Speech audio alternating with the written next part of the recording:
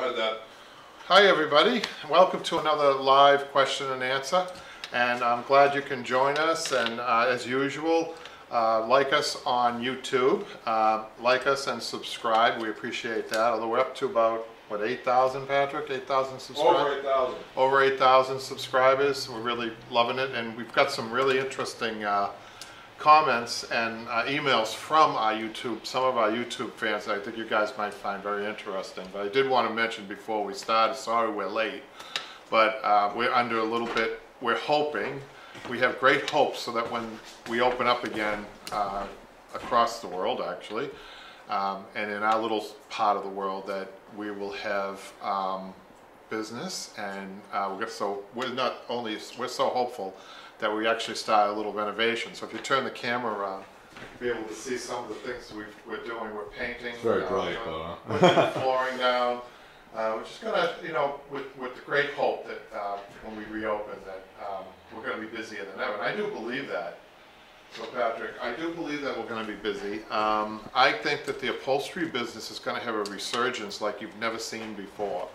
And the reason I say that is because I think that um, a lot of people, I think initially, once this opens up again, so once we open up again, initially uh, people are going to be calling because they've spent a lot of time at home and a lot of uh, time to look at their old furniture. Um, and maybe they're going to have time to think uh, that that will be a good thing for us. But beyond that, I think um, I think that there's going to be a real void in imports. I have a feeling that um, our consumers are going to look to us workers, us American workers, with with new vigor, and, and we're going to be better uh, suited, I think, to do more volume. I think we're going to, I see myself as a teacher.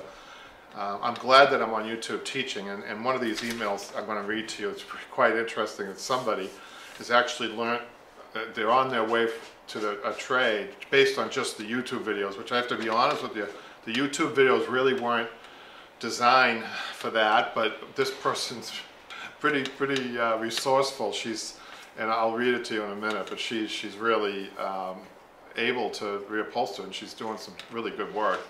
Uh, but the online classes are still, I think, are the best, and we do have some comments about the online classes too. I think they're your best bet. And I'm going to highlight the reason why on this chair, if I can get to this. Um, hopefully I can get to this. We do have a lot to read today, and as usual, you guys just ask the questions and uh, I will be interrupted, no problem with live questions. We like the live questions. And I want to I want to hear from people uh, across the country and across the world how they're coping and you know where they're at. Uh, today, uh, was it today that they opened a little bit of Georgia up, Patrick? Um, no one, idea. one of the states, one of the mass, one of the uh, United States opened up some of their businesses like hair salons, hairdressers, and uh, bowling alleys and things like that. We we pray that that's not premature. But I do want to hear from other people from other places um, and how they're doing, you know, especially when it's related to the upholstery business. And um, I'm really especially wanting to know about maybe Pennywise can check in in Canada to see how commercial upholstery. Did he check That's in? just his name now. Yeah. I, would like to see, I'd like to hear from him because uh, commercial upholstery especially I think is going to be hit, um, but I think it, they're also going to be Andrew, busy. though. When what's that? Andrew's his name. From Andrew. I like Pennywise. As long as he likes it, Yeah. yeah. call him Pennywise. Andrew from Canada. It would be great if you could get touch touch bases to see where your business is at. I'd like to know because I think that we're all been hit. But I would imagine uh, what I noticed with this COVID-19 is, um, as far as businesses go and closing, the first people were the restaurants. And I know that you guys do a lot of restaurant work and nightclubs and things like that. They were the first to go in pubs. Erica just checked in. Hi, Erica. So I, would like to I'd like to hear about that. Even if you guys hobbyists, I, would like to know are you get are you guys having a hard time finding supplies? I know that I did we did a YouTube video on how to make a mask. How, we we did a double fold mask, and actually, you know what? Um, I don't know if I have one handy, but I thought they came out nice. And you know, it's funny about like everything else, you get better and better and quicker and quicker at those and finding different ways of of um, you know getting fast and and and so far I've done a few of them for friends, um, and and I think I think Patrick's got got one. So, so this is one of the first ones I did actually. I didn't have many fabrics here, um, that was suitable for the mass. Um, I did find one that was not scotch guarded, and if you look at the YouTube video, I talk about that. But there's also a little filter in this that um, that was good. This fabric was not scotch guarded. It's a little heavier though than the cotton. So um, then uh, Michaela brought in, uh, donated to us some cotton fabrics that were perfect. And we made a few out of that. They come out much better. They're easier to work the folds over here with the machine. Um, but you know, this is a pretty good mask. I, I would use this. Let me take my glasses off. The only problem I have is, is my, my glasses fog out. So I did want to mention something else. Um, my niece, I just put that on for a minute. We got a question. But my niece down in Norwood, Massachusetts, I think she's either started or she's big, uh, very involved in making masks. They just did, you're not going to believe this, you guys. They just did their 5,000th mask. So that's pretty impressive, isn't it? Oh, Jimmy's here. Jimmy, hi Jimmy. Did you hear what I said? I have a niece in Norwood who's uh, that's called the no. If you guys want to go on Facebook, I think it's called Making Masks in Norwood, Massachusetts, and check that out. My niece uh, is involved in a group that's made. Get this, five thousand masks of all different varieties too. I think. I, didn't, I think they do more than just this one. So isn't that incredible? I mean, my hat's off to her and, and that group. Um, so check it out. Uh, we have a question. Yeah, um, this is from Erica. She says, Kevin, I would love for you to do more segments on hand stitching, especially in visible places like front corner. I struggle with this. When she says she struggles with it, um, there could be a couple of factors, or she's being too hard on herself, actually. When we do hand stitching, we do it not so that it looks like a machine stitch. Does this make sense? I think I have noticed my students, I, I, I kid with my students. My students do too good of a job with the hand stitching. I said, you make it look like a, it's, it's a machine stitch, you know?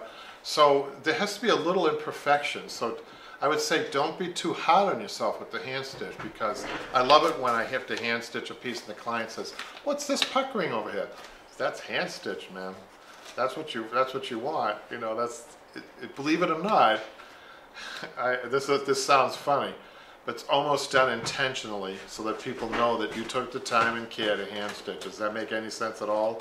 So I suspect that Eric is trying to be a perfectionist here in a spot where perhaps Hello? she doesn't need to, right? Hello? So, and there's a, another I'm question. on the live YouTube. I'll call you back in an hour. Um, yeah, this is from Ashdown. Yes, please. Uh, greetings Bye. from Ireland, Kevin. Everything's still locked down here until the 5th of May. Wow. Uh, wow. Pam says hi. Pam says hello. Hi Pam. We're We're gonna gonna get Pam's post. We're gonna show that. we're gonna be showing your post, your your featured work. You got a big fan in Jimmy. Jimmy loves your work, as, as you know. And and is there more? Uh, Monique. Monique says hi, everyone, from an intelligent lockdown Holland. Mm-hmm. Holland. Um, and then Jimmy asks, what is the method of layering after you tie the springs? I may have a new project soon. So, the, the order of springtime would be first the jute webbing, which we recommend over, over, over the nylon webbing. The springs are attached to the jute webbing either with a hand stitch or with the clinch it. And then you, you, you're up to the hand tied uh, with the jute uh, ties, right, Jimmy? And over that, essential is burlap, not a substitute. No substitute on the burlap. It has to be burlap. The burlap has been proven to be the only material that works over springs, especially eight-way tie springs. People have tried nylon. They've tried remnant fabric. They've, I've seen, I've seen cambric. I've seen no, nothing, which is even worse. And the reason the burlap, first of all, that you put anything over the springs as your base layer, is that you're filling in the rest of the gaps that the twines don't actually cover. You know, there's, there's gaps. So the burlap covers that. And then over that, Jimmy, you're asking about, let's assume Jimmy's asking about an upholstered seat, although he doesn't specify if it's an upholstered seat or, or a cushioned seat. It's a big difference, right? On an upholstered seat, Jimmy, um, ideally, over the over the burlap would be a maybe a, if it's an upholstered seat, a triple layer of horsehair. Believe it or not, So hand-picked horsehair, one layer, hand-stitched, two layer, hand-stitched, I mean, hand-picked and hand-stitched. The third layer, and you, and you go up bigger needles each time, right? You start with a small, like a three or four inch curved needle, and hopefully you have a big curved needle like I have up here, like a six inch or a seven inch curved needle, and you go all the way up. And then what you do over on, after that, you put a muslin over that.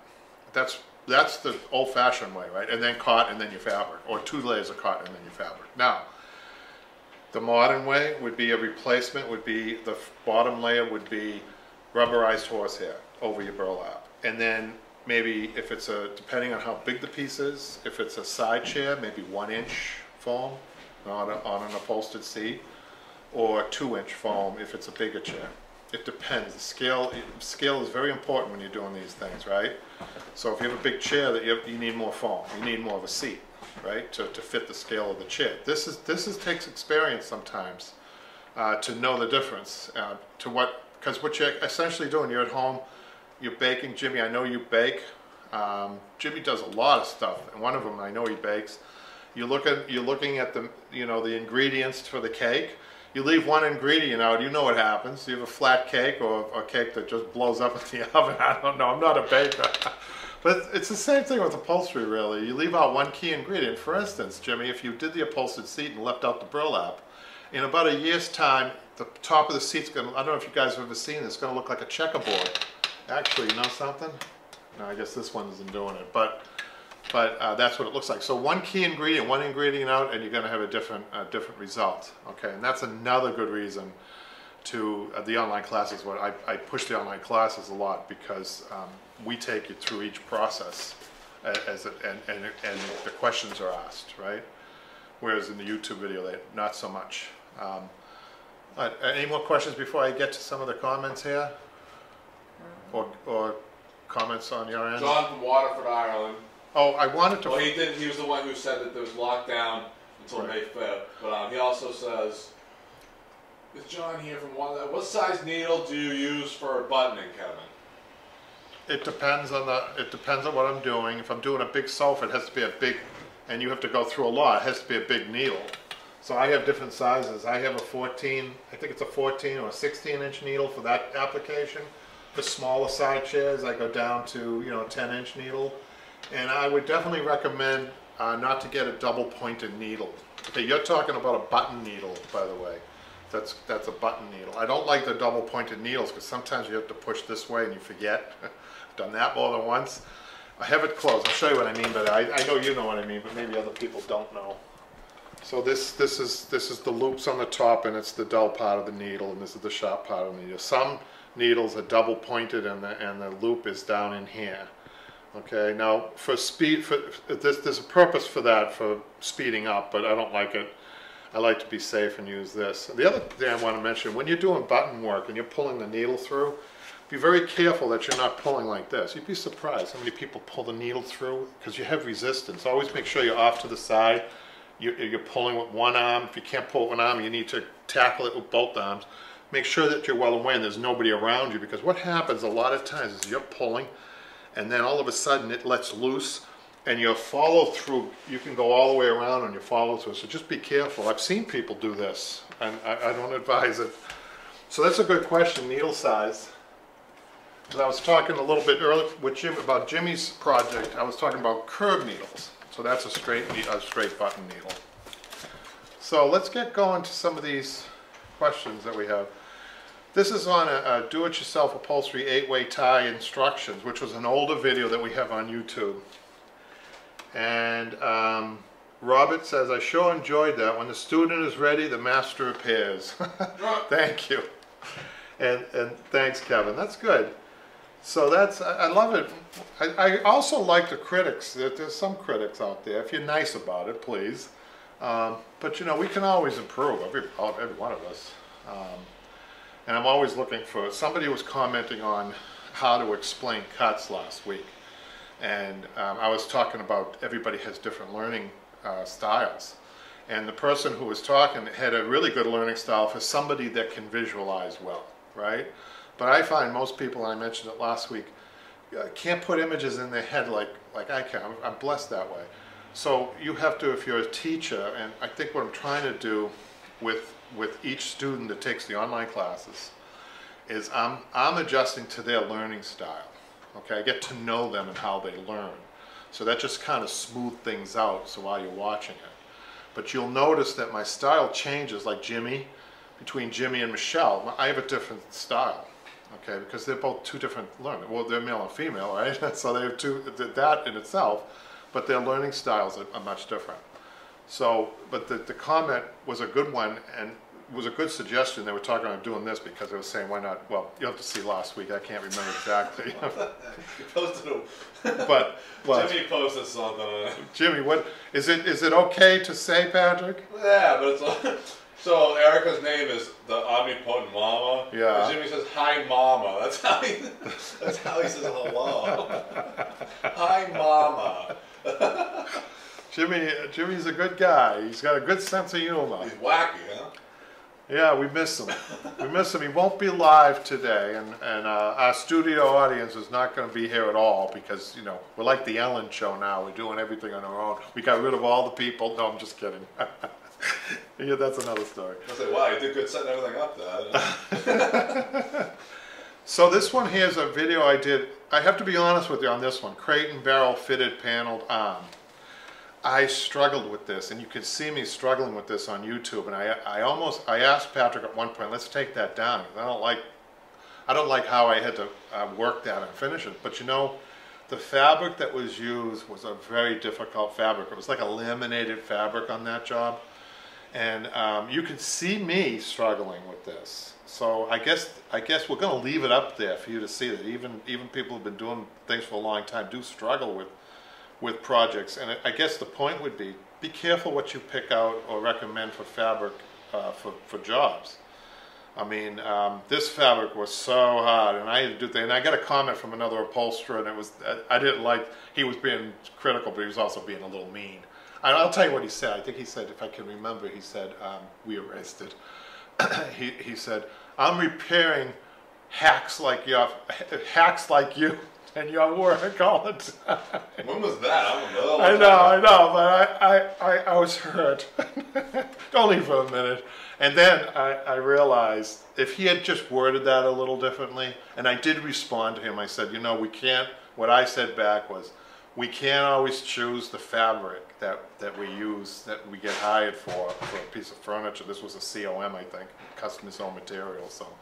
So just be aware of that, you know, if, if you have a fabric that's hard to work, a laminated fabric or leather or faux leather, those are hard materials to work.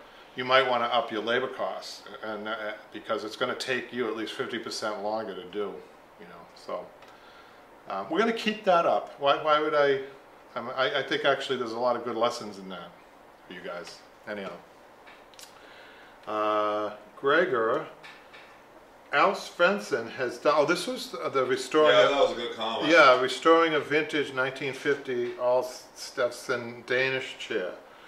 And Alf have done lots of nice Swedish furniture. Nice to see they get taken care of. The thumbs up, nice restoration. Well, thank you. That was a good video, a popular video. I really appreciate that. The difficult thing about mid-century furniture is that, I mean, when mid-century furniture came out, people were astounded, upholsterers were astounded at what they were seeing because everything was minimized. And you know, you think minimized is easy? Not, no, no way. So the challenge with with the Danish, the early Danish, they used to use a lot of uh, latex material, latex foam, which is a very thin foam, and but it has very high consistency factors. So um, we don't use that, that latex anymore, the molded latex, because it proves not to hold up after a while. So what we have to do when we're doing a restoration is we have to replace that with foam, whether it be a quarter inch foam or half inch foam. But really, the, it doesn't. You have to be careful how you how you upholster that, how you pull the foam pull it really as tight as you can. You're trying to get it to look like that latex as much as possible. The profile was amazing in how they did this furniture. Now, I'll use an example, of a womb chair. I have one downstairs, by the way, you guys. I don't think I can get it fast enough to show you, but you guys know what a womb chair is. Mid-century chair, and the arms are really thin and pulled over tight. Um, and Knoll is the one that makes the reproductions of those. So I can actually tell an original they, same shape, exactly the same shape, except the filling is changed because they, they went to the foam. Same thickness, but I can actually tell if you put two in a room and, and you know, I could tell if one wasn't faded, right? If one was perfectly preserved and the other one was brand new, and they switched them around, I could tell based on the padding that they used. Do you know what I mean? So that's a big challenge. That's a good compliment coming from that person because that's a huge challenge when you're doing mid-century furniture. I hope that makes sense. Have we? Um, is there a mid-century Patrick on one of our online classes yet? Don't, there was one featured on YouTube, Yeah, we, we're going to have to do an online class with the mid-century furniture. but it's just tough. It all depends on what um, you know Jimmy and Michelle have. So right. Okay. maybe you know maybe we'll do that in the new series Yeah. once this is over. Yeah. This is That gonna be one of the things. Maybe we'll find one. I doubt people will be throwing that away. Right. Thank you, Patrick. So we got another question, Michaela? We have a comment. A comment. Um, Erica says that I learned that cotton velvet with no give is a challenge fabric. I struggled with those blue velvet chairs, but learned a lot. Interesting, yeah. The, the, the worst fabric in the world, I'll, I'll give you some of the worst fabrics. Haitian cotton for wearability. Uh, workability, I, I don't think it's a hard fabric to work at all. Um, the worst fabric I've ever had, silk velvet. Believe it or not, there's silk velvet. It's a beautiful looking fabric. It probably should only be used for a wall hanging. And even if you're going to use it as a wall hanging, you have to frame it because the ends curl up and to sew it is a nightmare and the stuff stretches way too much. I mean, twice as much as wool. So, you know, when we're advising people on the womb chair, for instance, you either need to use a solid wool or a wool-like solid. And ideally, this is what, uh, when you go to a, a company like Knoll and ask for a fabric for the womb chair, they actually spec it out. They have the specked out fabrics for each piece of furniture, each piece of mid-century furniture. So you couldn't, for instance, you couldn't put a plaid on a womb chair like this, an upholstery weight fat uh, plaid on a womb chair. That would be a nightmare. I wouldn't even attempt that. So, um, uh, and most furniture is like that, really. I mean, you look at this fabric. I'll get to this in a minute. This is this is another challenge. I want to show you a transition problem that we have with this and how these people. We'll get to that in a minute. I'm still. Uh, we have a lot to do actually in, in here. I hope I have time for this. But anyhow, um, so uh, sewing machine 101. We did a sewing machine 101. I try to make things as simple as possible. And on that one, and then, and we got a comment from Robert. Well, glad I watched. Incredible resume. Thank you, Robert. Um, that, you know, like my teaching style. I like to introduce people in a, um, a way that's approachable. You know, if I started somebody on the mechanics of this machine and was taking it apart and showing you the insides and how it worked and everything and then putting it back together again, I I don't think many people would be interested in that, would they? Um, and besides, there's no reason to do that. Um, so I put out the features of the machine and some of the simpler things, and I took it uh, slowly on that one there. And I think it's a good, I think it's a good tutorial for sewing machines. So check that out on YouTube. So the other, now we got a comment from Yaya, Yaya, um, and this, Yaya, Yaya. American vintage sofa stripping and measuring for fabric. That was a fun job. Uh, she says, "Thank you for such a nice video. We did a, we did one. Um, I my, still my one of my favorites. If somebody were to ask me, was that Civil War uh, settee that we did. Says Patrick's got me in a. Uh, he's got me in a Civil War hat. and I can't remember if it was the North or the South. That was the north for sure. But the, the sofa, you guys Union, should check Union, I the union. If you guys check check it out because the sofa was we, we, we traced the history. I love history, right? We traced the history back to 1863 to a town near Gettysburg, Patrick. Wow. Near Gettysburg. down near there. And, uh, and you know, so we just imagine that you know life goes on, doesn't it, guys? I guess that's a good lesson with this pandemic, right? Life goes on. I'm still here. I'm still trying to you know get work where I can. It's kind of tough now, five weeks into this thing. Boy, it is tough, but but I have great hope that when this is all over, the phone's gonna not only for me but for you guys out there. You guys, this could be a good time to launch a career if you already haven't done so. Uh, I really do believe that people are going to be doing their own furniture, not buying new. I think this is a new age for reupholstery, and you guys gotta get brace yourself to be busy, and I'll be here to help you. Love to help you. Love to see people make money and, and, and, and do well, and you guys can do well, I think. So what was I doing? I, I I want to say something, something else too uh, about that. yeah, Is that once we hit? I know we kept saying we are going to do a thank you for our subscribers after a certain amount. right. I think at this point we'll wait till ten thousand. Once we hit ten thousand, I want we should do something special with our subscribers. I think we should maybe have them send in a video of their work if they want to. Right. We could feature that on the, you know, what, Oh, they, what you help them with, and we put that in thank you for ten thousand subscribers video. So Yeah, once yeah. we get there, that's my idea for that. So if people want to, you know, start sending stuff, we can include that in our thank you for ten thousand subscribers. That would be great. That would be great. Still a ways off, so we have time. But Yeah, that's my idea. I think that's a great idea, Patrick. yeah. Um, More remind them when we get closer. do we have any other live questions yet? Um, any Um, more Just comment. comment? You want to read those? Um, well, Pam responds to what Erica said about struggling with the blue velvet. Um, she says, I agree about the fabric impacting the labor. Um, or maybe responding to what you said. I was asked to quote a price for upholstering two French chairs. I asked to see the fabric, and I'm still waiting. Erica says fabric with no give plus a newbie and curved back was a huge challenge. And Joseph says, Yeah, I'm learning upholstery being busy with my car interior. Which is very cool. Cool. I saw some of the pictures that he uh, posted on his Instagram. So when you're looking, when you're talking about fabrics for applications, whether it be commercial, residential, automobile, and I, I, I'll say slipcovers. On slipcovers, people are much more accepting of wrinkles and and uh, things like that, right? Um, on upholstery, not so much. So the other thing, uh, Pam, when you when you speak to a client, I'm sure you already know this. You have your work order out, and that's why it's very smart to see the fabric because expectations, right? You want to you want to you know talk about expectations based on the piece of furniture and the fabric that they selected.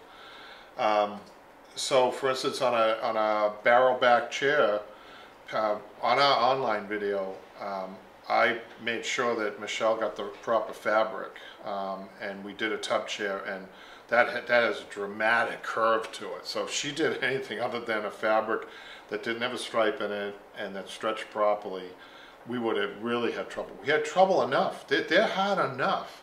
And so what we did, what it comes down to is, I did we have any buttons on that, Patrick? Did we? Do you remember if we put buttons in that What was it? Uh, on that tub chair? Um, Because that's the out. Um, you know, if you still have wrinkles remaining, t- you- the times you see buttons is to get the wrinkles out or, t- or kind of take your eye away from the wrinkling. So things like that. Uh, but I think this one didn't even need it. Didn't even need the buttons. It came out so well. It was done. It was done so well. And the stretching was. You wouldn't believe how much you have to stretch a piece like that. You know, a slip cover. Just throw it over, cut it, and that's it, right? So upholstery uh, is is I think much more difficult than slip covers. I really do. But they're both skills and talents, aren't they? So, um, hope I go with Pamela's uh, pr- project first. That's the first one I have ready to go. Pam, Pamela's, okay, so Patrick's gonna put this up, Pam Bowen's uh, upholstery fabric. Um, So now, she said she made, I'm gonna read this, made covers for a pair of wing chairs. It was very time consuming, but they came out pretty good for my first try. Can't wait to learn some tips from Bernice. Guess what, you guys? What you're looking at with this is a slipcover. She slipcovered these wing chairs. I can hardly believe that stripe, that stripe one's a slipcover. Wow, I think, you know, Pam, if I do say so myself, I, I, I, I'm just gonna say something here. Your skills as an upholsterer has made you a better slipcover person. And I like to see somebody start with this, with slip cut, with upholstery, rather than start with slip covers, because the transition, that transition to upholstery, slip cover to upholstery, sometimes is a little tough. And I'll tell you why. Because if you're doing it, let's say you have a 10-year career of slip coverings and you're just placing fabric over, right, and cutting. You, you, the whole thing that they've missed while they're doing that is how to stretch fabric over batting, springs, cotton, and things like that. Because that in itself is a skill. And that, that's what they miss. Uh, uh, Oftentimes, I've seen slipcover people, when they make the transition, all the cover loosens up after a while because they're not having the stretching techniques that they, that they were never taught. They never, they don't, they don't know. So I like to see the transition, but I've noticed with the transition back the other way, I noticed projects like this, Pam, good job. And we got a question? Um, yes, this is from Lauren. I'm wanting to start a Victorian settee. What velvet do you recommend?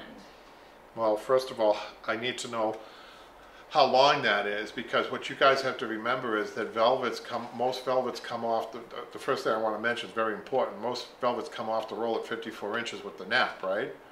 So if you, what you want to do with the settee, anything over 54 inches is make sure you get a fabric that's railroadable. Some velvets are, believe it or not. Um, so you might want to go to, instead of a velvet, go to a chenille because you're going to get a lot more of chenilles that can be run sideways or railroaded. Um, but that's very important. Um, so I would recommend a chenille. A lot of people can't tell the difference between a chenille and a velvet anyhow. So the chenille will give you the same look and you can run it sideways. That's why I'm recommending that. But you have to be careful with some chenilles, they're not too heavily napped. Chenilles do have a nap, uh, but most don't. Most, most you can turn and run sideways. Um, hope that answers that question. Did that answer that question, Michaela? Um, What, what you could recommend? She's looking for a recommendation for a velvet. And I think I'm telling her, you better be careful that this isn't over 54 inches on the seat, that uh, you don't want to seam it, you know, you don't want any seams on that. But I'll tell you something, when I first started in this business, seams were, was something that we did all the time because most fabrics weren't, there wasn't such thing as a railroaded fabric. I- That's how long I've been around. Uh, but more fabrics today are railroaded. And what, what that means is that people are not used to seams whatsoever in anything. So they don't want to see a seam. As soon as they see a seam, they, they think not good work. And it's not the case really, but that's what, that's what most people feel like. You didn't do a good job. You had to piece it. It looks pieced. So be careful of that. I would try to avoid seams today as much as you can. And I wouldn't do a velvet if it's, if, if the settee is over 54 inches as a result, unless you get a velvet, uh, if you do get a velvet that's railroaded, if you're asking me, um, I would say, see, velvet, synthetic velvets, like all synthetic velvets, have terrible roll marks in them, and I don't like that. So you'd have to go to a cotton, uh, look for a cotton velvet, I guess. If you're gonna, if you're gonna use that, maybe a 50% cotton and 50% synthetic, that's a good mix. Try not to get the velvets that have that heavy, lousy backing on it. That's that that's awful. And and that you can you can get a cotton on the top of that, and then have that lousy backing, that heavy backing. Um, it's not always all synthetic on that. So I would look for a woven velvet. You know, they're usually very expensive. Um, That reminds me, I would drape myself in velvet if it were socially acceptable.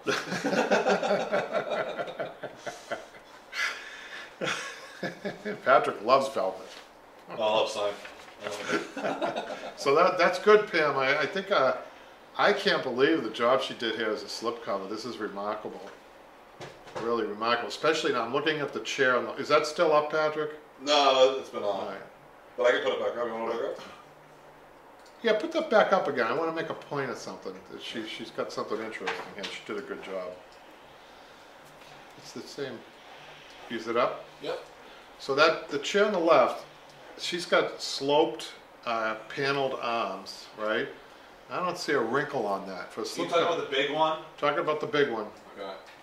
I don't see a wrinkle on there. Now, up at the top, I see a little wrinkling, but that's, see, that's what I'm talking about. Your top wing there, that transition point on a slip cover, that's perfectly natural. People accept that. If I did that on an upholstered, or if you did that, Pam, people would complain about that, right? So that's a perfect example of what I'm talking about. That needs all this stretching that you guys see me do uh, painfully sometimes all the time. Okay, that's good. Let's go on to some of this. Okay, I'm really excited about this next one. Um,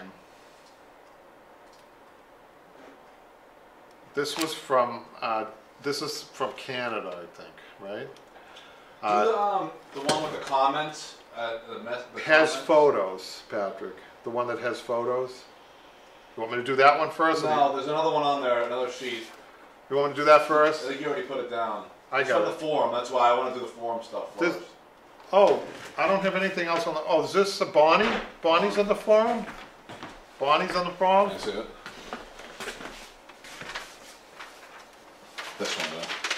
Oh, I didn't That was on the form. Okay, we got one more from the forum that I kind of put aside, sorry about that, you guys.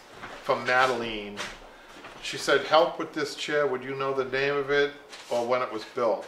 So I'm looking at this chair, I would definitely think it's a Victorian chair, a Victorian side chair, and I would probably guess eighteen sixty to, you know, maybe nineteen ten, somewhere in that area. And I've done these, this looks like, if you look at this chair from the side, you got the picture up there, Patrick? Yeah, maybe maybe our our viewers can help us too. Well, the bottom, this chair was, the bottom, if you look at the bottom, it's just got a leg and not runners. This chair was also equipped with, or could take runners to make it into a rocking chair, a grandmother's rocking chair.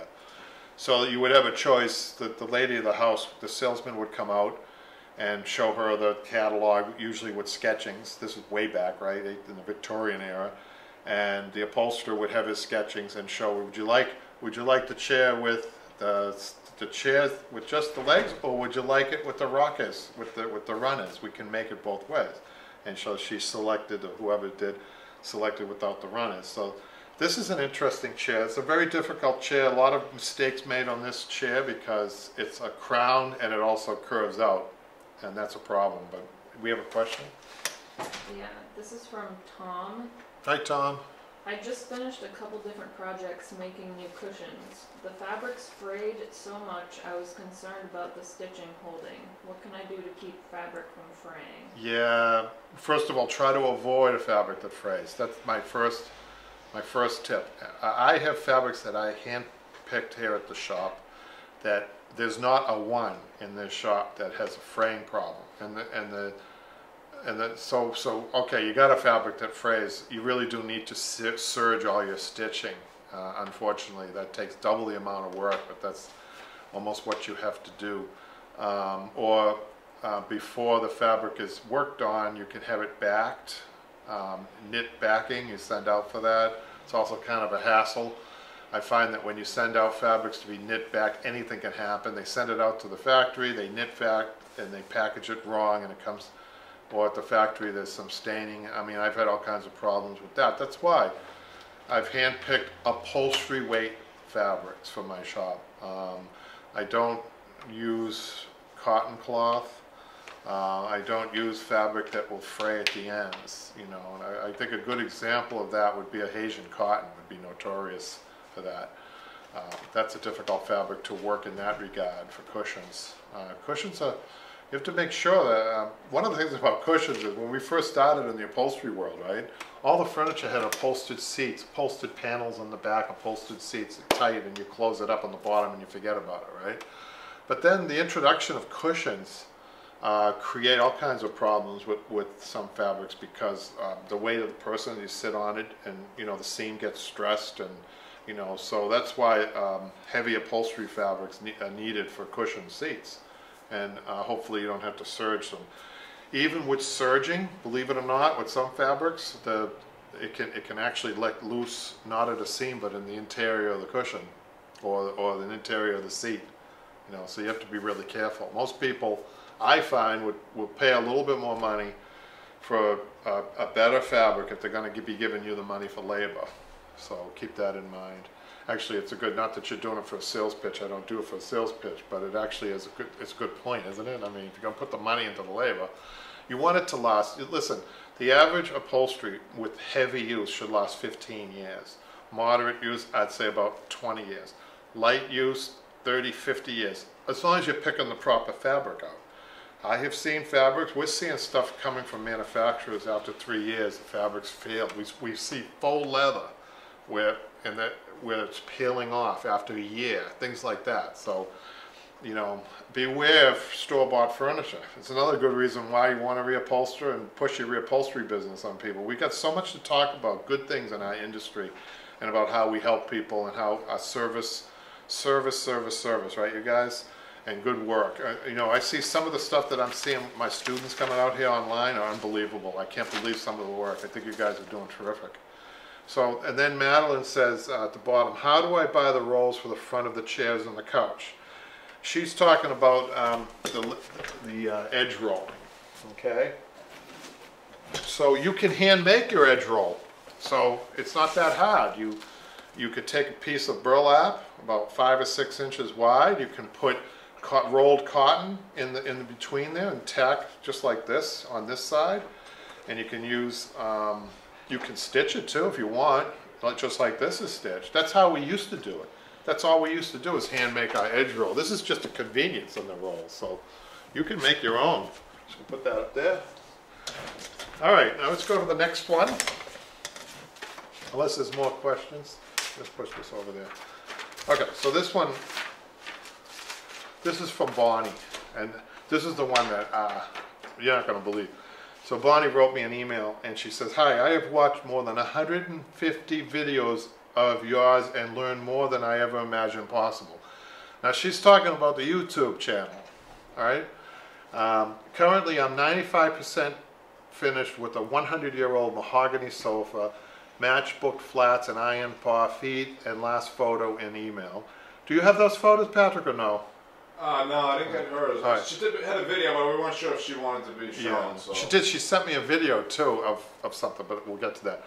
Having almost completed six chairs, four wraparound dinette, and two arm side chairs. My husband tied original sofa springs for me by watching our videos over and over again, but he refused to let me use original horsehair or cotton batting, even though it was pristine and absolutely no odor. I, on the other hand, refuse to throw it away. Checkmate. That's funny.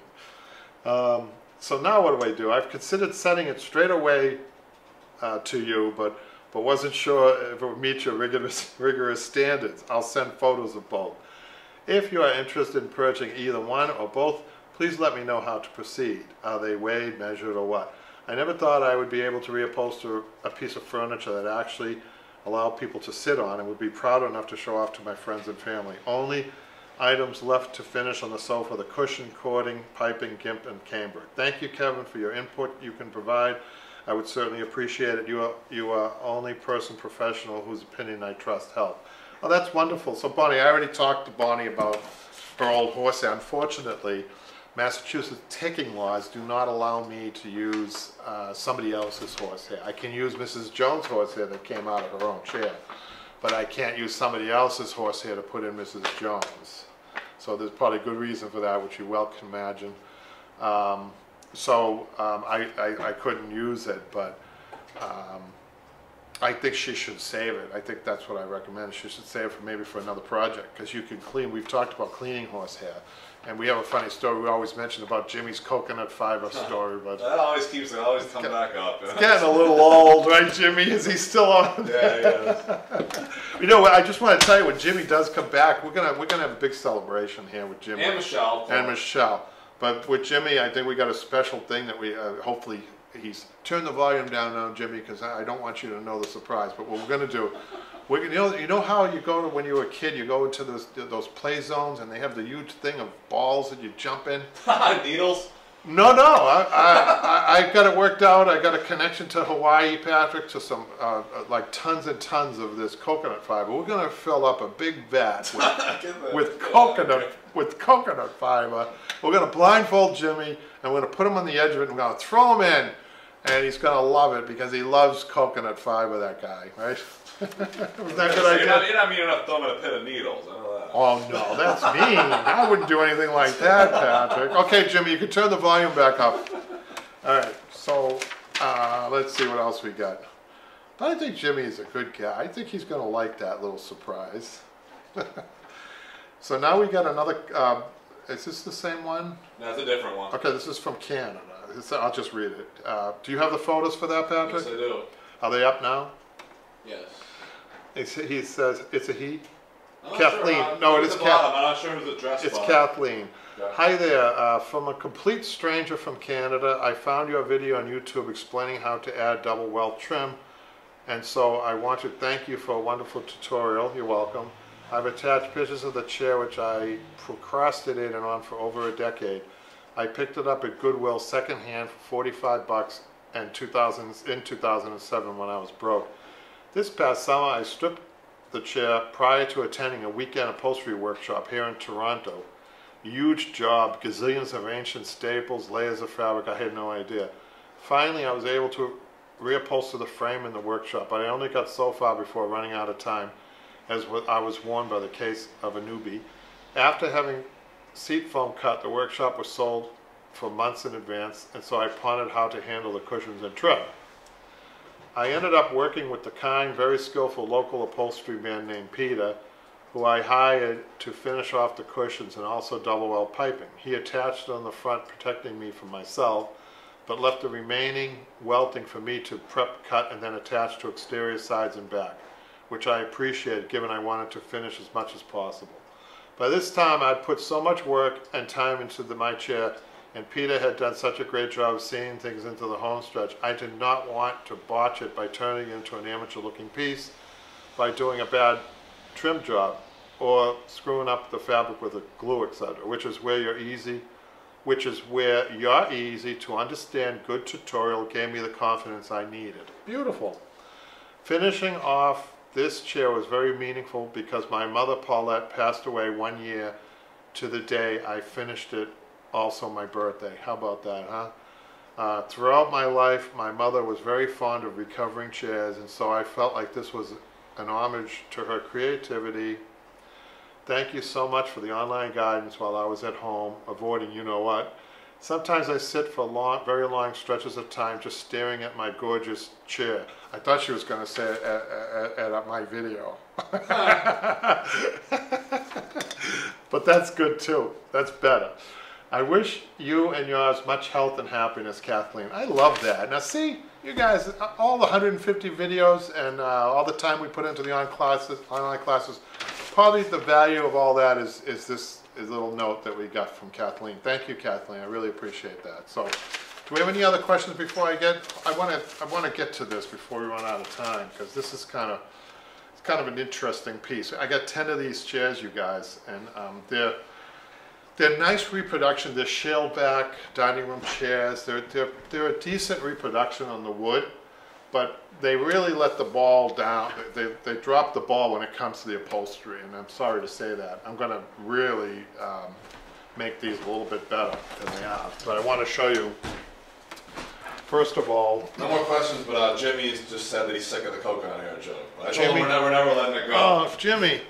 Oh, does this mean that he's got an, a, another favorite batting? I mean, Jimmy, I'll give you some choices on batting, okay?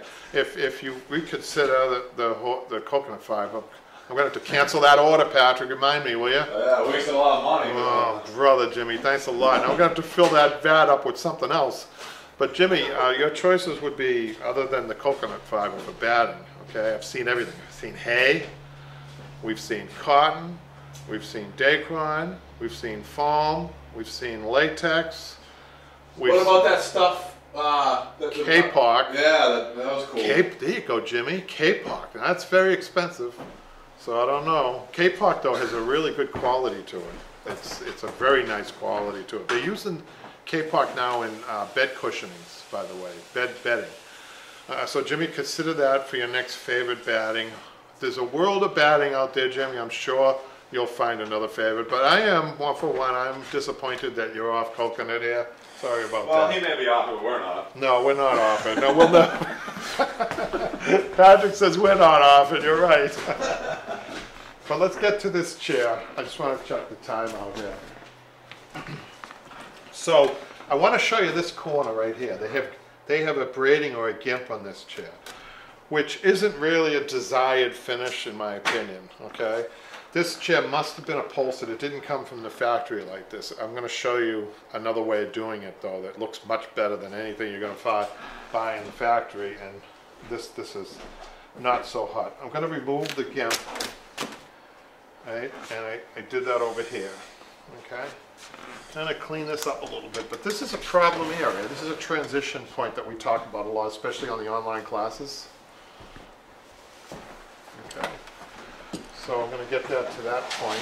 I'm not going to use my staple gun. I'm just going to try to explain something here. I'm going to show you a little piece of the fabric. I'm going to actually cut a piece of the fabric off that's actually being used.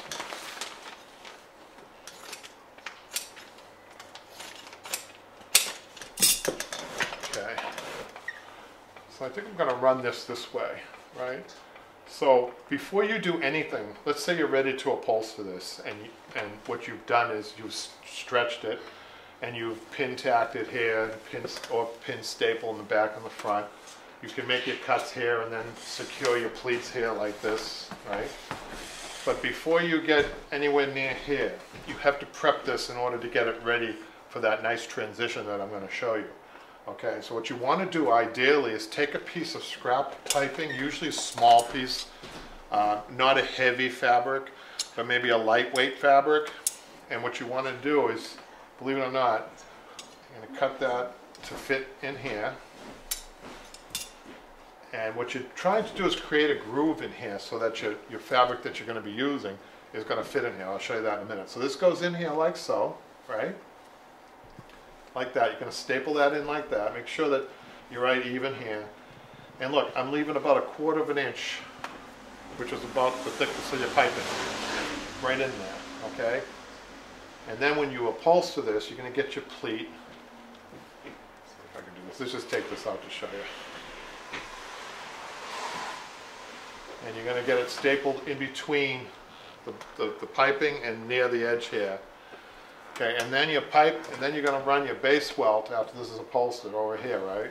And in this area here, what, what I do is I start here, I start here, and I come around, and then at this point, I measure to see how far over I am, and then I cut out the salvage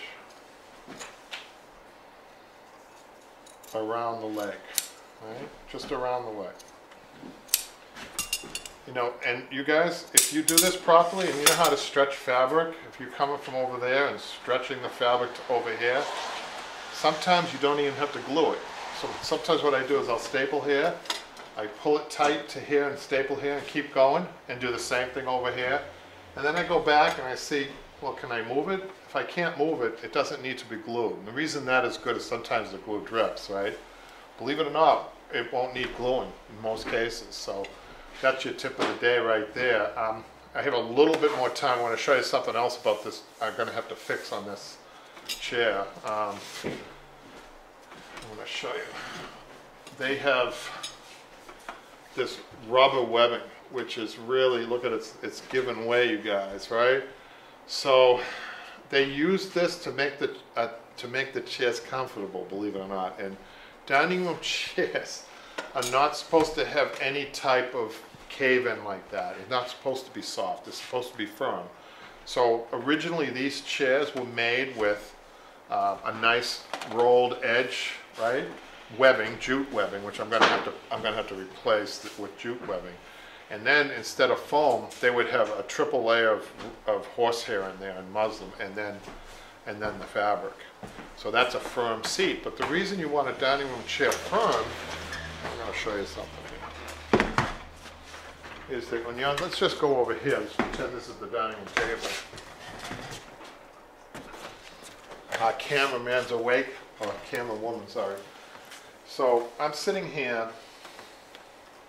Patrick, can you do me a favor? Yeah. Come over, come out here for a second. Yeah. Measure from the floor to my shoulder. Tell me what this is.